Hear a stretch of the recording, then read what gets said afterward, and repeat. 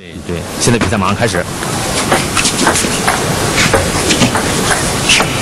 现在大家看，开场你开场的以后就一拉一削，蒋鹏龙进利用长短球，好的，刚才他们俩的这个这个不同点非常明显。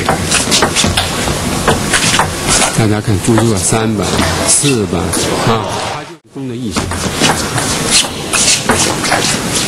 现在第一局输了之后呢，第二局要力求变化，如果不变的话，好球。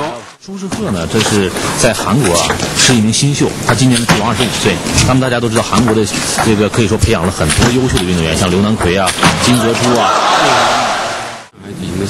嗯，所以也也是个对一个优秀选手来说，也是一个损失。对，而且朱世赫在前几年特别想到中国来。呃，这个俱乐部就这个呃一个药厂的这个这俱乐部，它成绩还是相当不错的。对。国球，这个美国呢把这个篮球搞 NBA，他们想将来的中国的乒乓球。那么，所以大家对这个黑龙江这个乒乓球也是非常熟悉的。对。所以这次黑龙江电视台主办这样一个男子单打的争霸赛啊，也是第九蒋鹏龙的这一份。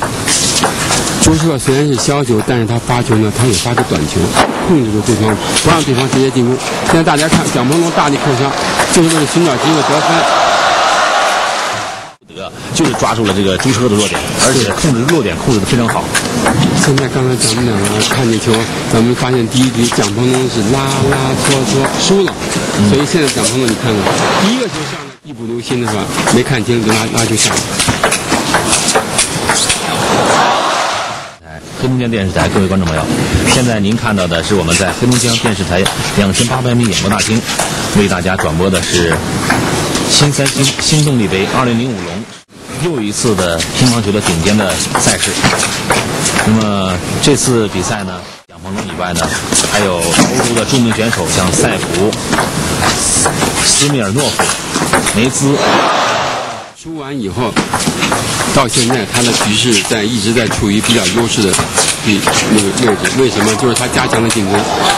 现在刚才大家看朱世赫连续这第四板反拉，这个球就是。一般是飘飘忽忽的，当你发力的时候，他的球回来是转的；当你不发力的时候，场上比分呢是九比五，朱世赫领先。现在是争霸赛蒋鹏龙对朱世赫的第四局，第四局与四胜制当中最关键的一局。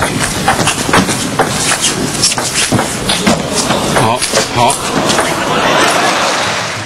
估计可能是观众过于激动了，大家都笑了。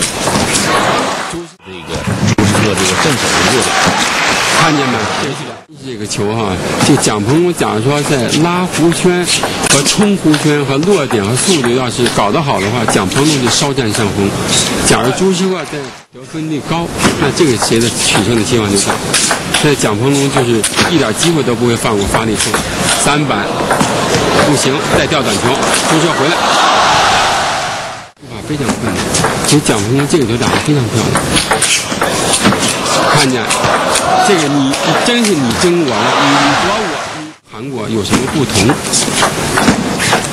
这次黑龙江电视台主办的男子乒乓球单打争霸赛啊，他也是邀请了很多，这个看出来的这个打球打出来这个球的效果也不一样，所以这这次啊，男子乒乓球争霸赛是非常有看看点的。这两名选手都在中国的俱乐部效力，像这个朱世赫是在四川成都的一个俱乐部，对，而蒋鹏龙呢是代表山东鲁能，山东鲁能，嗯。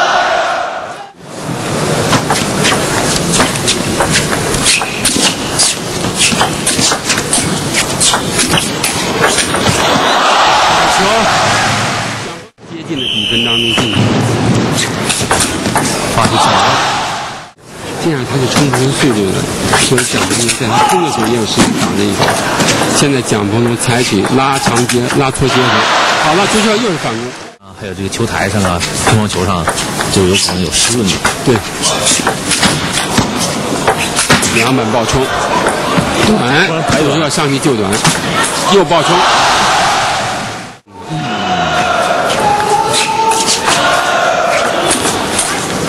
现在打成了十一比十一，第关键的第五局，这个培养的这个力度加大了，而且这个新的选手在不断的出现。还是领先那么在这场之后，将进行的第二场比利时的塞福，第四场呢是俄罗斯的斯米尔诺夫对阵瑞典一名顶尖的选手，而且在技术上呢也各有特点，有消球。现在单纯的靠削球、单纯的防守这样的已经没有了。对对，像过去五六十年代单单单。这个中国一枝独秀的话，那乒乓球这个国际性就差了。对，是不是啊？对对。那么虽然就是蒋鹏龙今年二十九岁，毕竟经验比较丰富。